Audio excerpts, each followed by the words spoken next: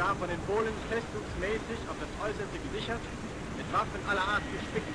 Eine Swingboard der Polen mit